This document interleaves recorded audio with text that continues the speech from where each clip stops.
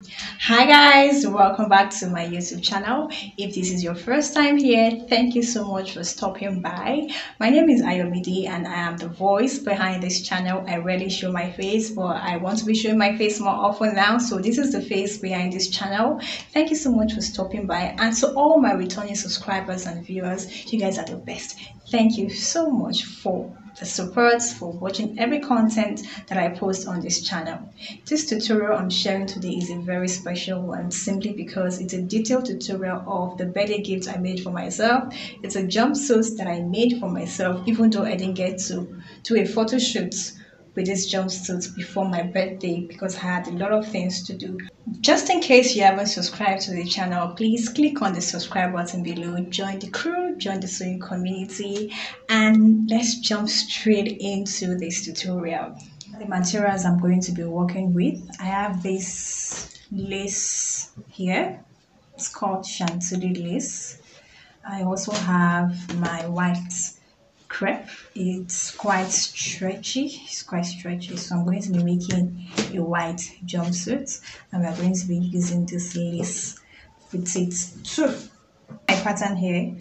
What i've done so far is just to draft my basic bodice pattern. I have my front and i have the back here. If you don't know how to do this i have a detailed tutorial on my youtube channel on how you can do this. So that's why i didn't go through the process of repeating this again since i already have a tutorial on this. Before i proceed with any alteration let me complete let us complete the back bodice i'm going to be taking my waist measurements. A cut of my waist is 6.25 and i'm going to be adding one inch for that. So i'm still going to be putting in that here. So that's 7.25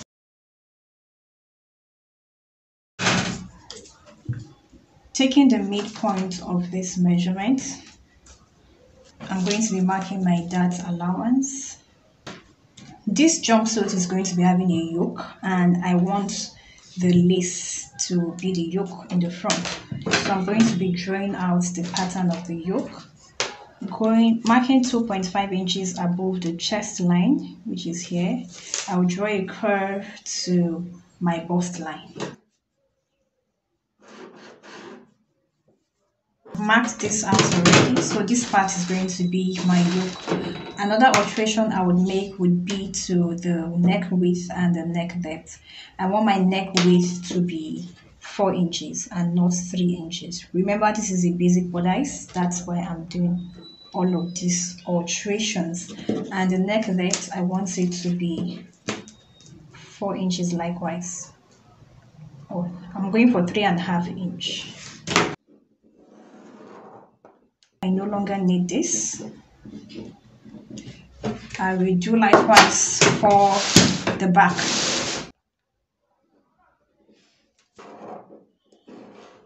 I want the bust area to have some firmness. So I'm going to be marking my under bust measurement, which is 12 inches. On this side of my dart, I'm going to be taking half an inch away from my dart leg. This is my dart leg, ignore this line.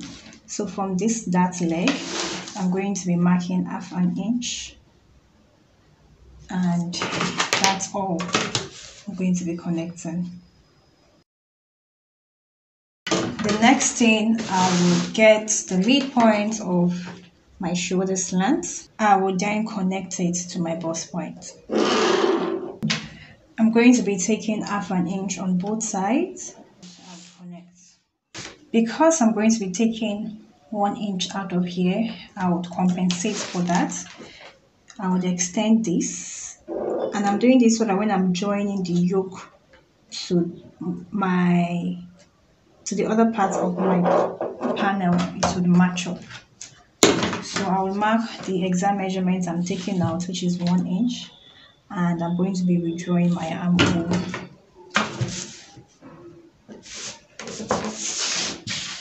I'll just blend it. I have my center front, side front, and I have my yoke right here.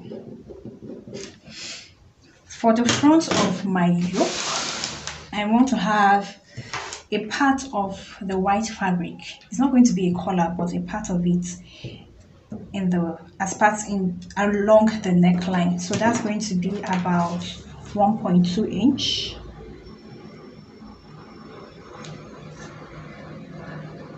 I'm going to make it one inch. One inch. One inch.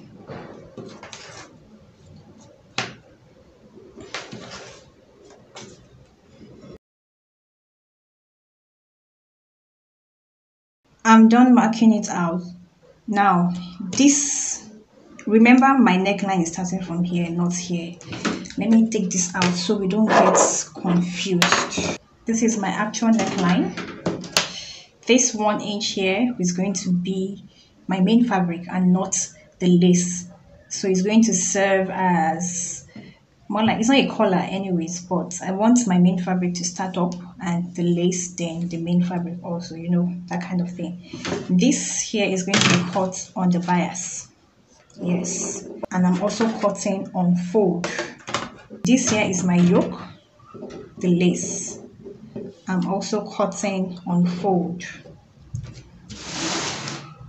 one piece. Going over to the back my lace yoke at the back is going to be bigger than the front.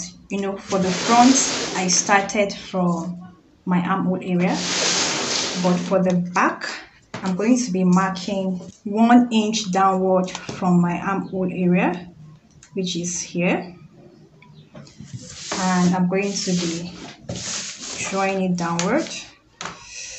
Uh, it's looking a little bit quite low. So I'm going to making this I'll make this half inch half inch downward. And I'm going to be I'll just mark it to my center back. So from here I would connect with a straight V down here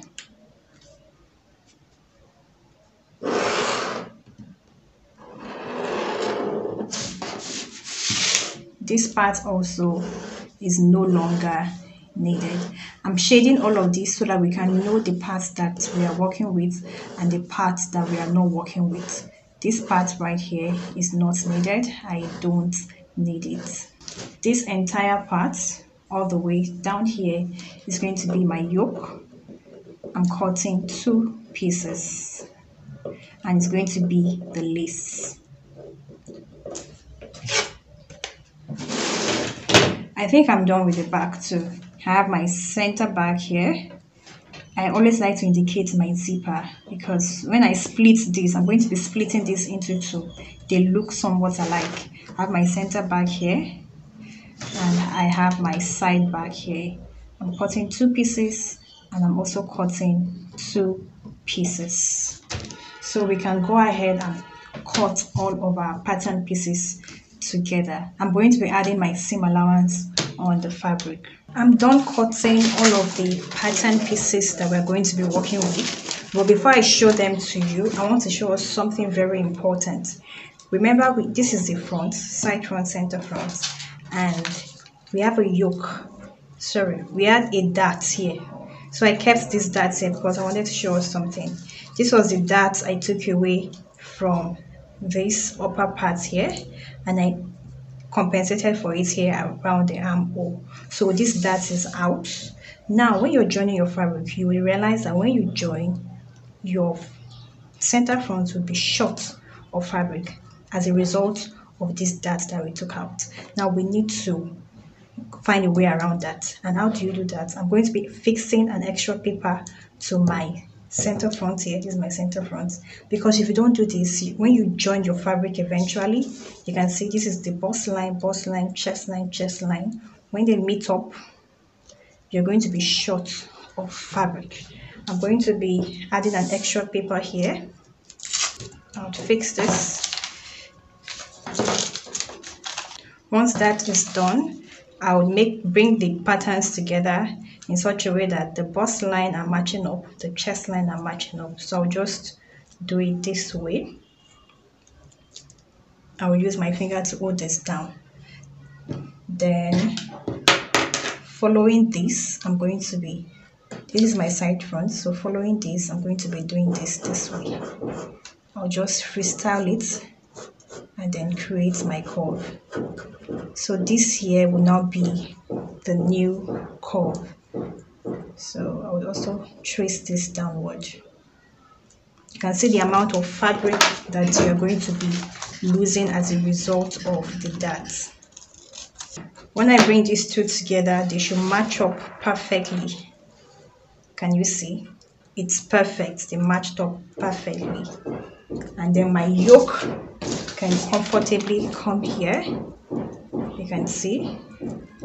Can you see? So I just thought to show us that. I've cut out all the pattern pieces that we need and I'm going to be taking us through each of them. I have my center front here, fabric, lining, for the upper part of the jumpsuit, I'm going to be using a lining. So I got this lining, it's very light that I'm going to be using. So this is the center front, side front, fabric, lining, and the other fabric that is needed. This is the front yoke. Remember, we have a yoke for the front, front yoke, cut on fold. Then this is that part of the front that I cut out that I'm going to be fixing to the yoke. So I wanted, I don't want my jumpsuit to start with the lace. I want a fabric lace, then the main fabric. So this is it. I have the back yoke. I have the center back likewise and the side back too. So main fabric and also lining. Lining, main fabric, likewise for the side back I have the lining and the main fabric. I have my trouser here. Now, before you go ahead and start saying, but Ayomide didn't take us through how you cut this.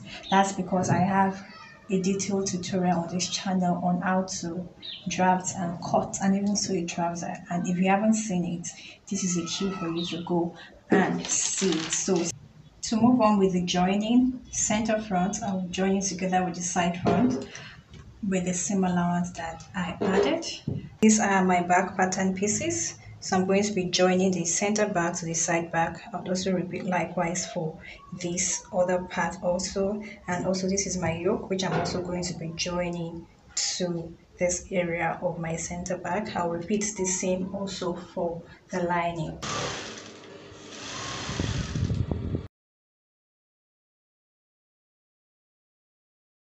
I'm done stitching everything together. This is the front, the lining for the front, the back. In addition to stitching my back panels, I also fixed the yoke. And this is the second part of the back and the lining for the back. Before fixing the yoke to the front, I want to sort out the neckline area. This is the part I cut out from the neckline I also ironed in interfacing. So I'm placing the fabric and the line against each other and then I'm going to be sewing it around the neckline to secure it. This is the part I'm going to be attaching to the yoke. So it's going to be something like this. I'm just going over to sew this down. Once I sew it down, then I'll fix it to the neckline of the yoke. I'm done turning it. I also use hemming glue in between just to keep it firm and in place. This is the wrong side this is the right side. I'm going to be fixing this now to this mesh. This is the midpoint of this piece and this is the midpoint of the yoke. I'll match up the midpoint first of all. Right side facing each other. Then i'll try and pin it all around i'll go over and sew this down. Once i'm done sewing it down i will now fix it to my neckline okay? I'm done fixing it. This is what it looks like. Later on i'll use needle and thread to tack this down in place and make it appear more neat. The next thing will be to fix this yoke to this. And in order to do that i'm going to be notching this part that will go to the center front a little bit notch it a little bit can you see place right sides against each other. I'll pin this part of the notch down then I will sew from here all the way down here and sew from here all the way down here. I fixed it to the main bodice already and this is what we have. I'm loving this outcome. I just try to pin it to my body form just to have an idea of how it's going to look like. I also pinned a part of the back so this is what the back also looks like can't wait what I'll go ahead and do next is to use the lining on it. So I'm going to be using the lining to finish off these raw edges and I'll do likewise for the back too. Guys I'm done joining with my lining. This is my back panel pieces and this is what my front look like. Now moving over to the trouser the very first thing I would do would be to pick my darts on the trouser. So I'm going to be picking my darts on the four panel pieces of my trouser and once that is done I'm going to be joining the front trouser piece to the front bodice and the back trouser piece to the back bodice. I'm done joining the upper bodice to the trouser part. This is the back and this is my yoke here. The next thing would be to place right sides the front and the back against each other. And then I'm going to be sewing it all the way down by the sides and also around the crotch area too. I will also go ahead and join my shoulder my shoulders together after which we will now come and work on the sleeve. So I'm going to be using my seam allowance to join the parts together moving on to the sleeve this is my sleeve pattern and it is a long sleeve. I have a detailed tutorial on my channel on how to draft a basic sleeve pattern. So this is a basic sleeve. The sleeve is going to be having a flare at the hem and i've gone ahead to fold my fabric into four. The first thing i would mark right from this edge is the radius of my round sleeve and to do that you would need to divide your round sleeve circumference by 6.28 whatever you have you would have to mark it down. Afterwards from that radius i'm going to be marking my length and also factoring in my seam allowance and i'm going for 6.5 inch. Once that is all done i would go ahead and cut this out. After cutting it out, I'm also going to be duplicating this sleeve because I need one for the left and one for the right and also cut out a lining for the sleeve also. I'm done cutting out and i've interfaced both the main fabric and the lining for the sleeve. And to go on i'm going to be placing right sides of the lining against the right sides of one sleeve right sides against each other. I'll then go ahead and sew it along the hem and this is the result of what i have later on. This is what it looks like. This is what i have. The next thing i will do is to also place right sides against each other in such a way that main fabric faces main fabric and lining faces lining. This helps to finish off your sleeve neatly. So once i pin it down i'll go ahead and sew this down and this would hide your seam allowance inside the sleeve. Moving on i'm going to be picking my sleeve and then i will sew it down by my seam allowance. Once that is done i will pick one flare that i've worked on and then looking picking up the side seam i'm going to be matching it up to the side seam of my main sleeve pattern. So you want to make sure that the side seam of the flare and the side seam of your sleeve matches up and then i'm going to be pinning it all around. If i have any excess at this point i'm going to be pleating it. So you want to make sure you pin it all around first of all before going ahead to sew down. It makes your work easier on the sewing machine. I'm done working on my both sleeves and this is the outcome of the sleeve. The next step would be to join these to the main jumpsuit itself. So you would want to make sure that the side seam of the sleeve matches up with the side seam of the jumpsuit. This is the outcome of the jumpsuit after fixing the sleeve on it this is what it looks like. If you found this tutorial helpful kindly give it a thumbs up. If you haven't subscribed to the channel please do click on the subscribe button below. Also turn on your notification for more videos. And until my next video guys make sure you have a wonderful day have a blessed day and stay safe